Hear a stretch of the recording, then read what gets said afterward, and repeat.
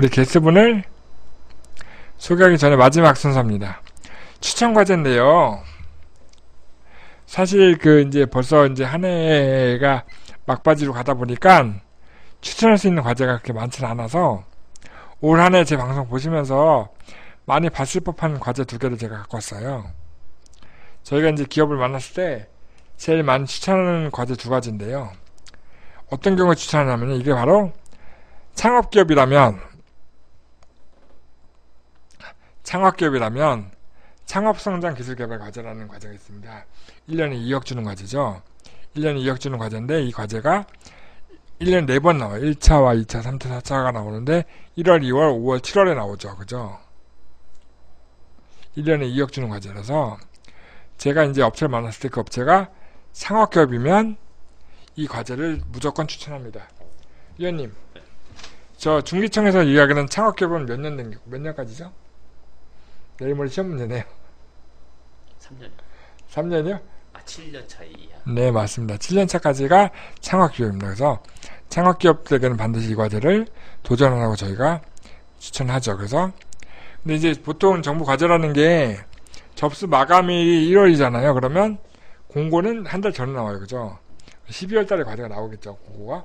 그럼 12월 달에 과제 도전하려면 11월 달에는 과제 도전을 위한 이제 몸정을 기업이 몸짱에 갖춰줘야죠. 그래서 가점 요소들을 11월에 해야죠.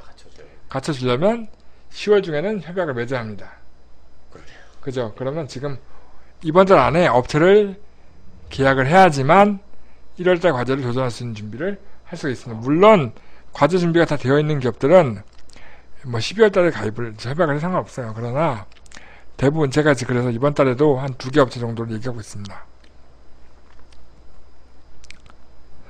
다음 추천 과제는요. 만약에 이번에는 수출 기업이라면 네, 물건을 수출하는 기업이라면 해외 수요처에서 제한하는 뭐 해외 수요처가 있다면 외국에서 물건을 사줄 수 있는 기업이 있다면 어떤 과제 추천할까요?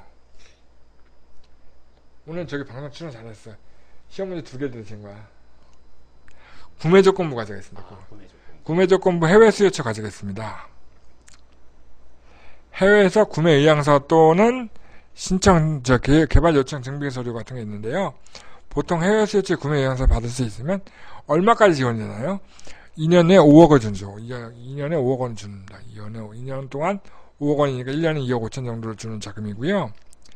정부 출연금이 2억, 5억까지 65%, 전 총사업비 65%까지 예, 수출기업 기술개발 사업도 있어요. 6억 주는 것도 있어요. 그런데 제일 많이 얘기하는 게 구매 조건부입니다. 제가 수출기업 기술개발 과제 사업은 제가 아직 입에 배지 않아서요.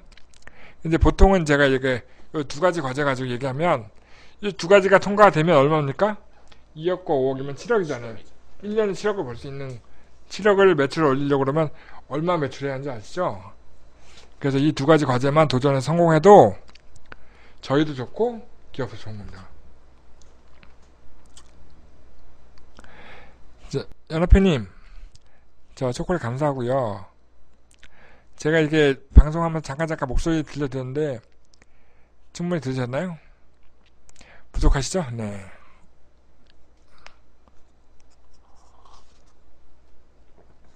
원래 30분 하는 방송인데 벌써 43분 했어요. 별얘기 한 것도 없는데 그죠? 금방 시간 갔네.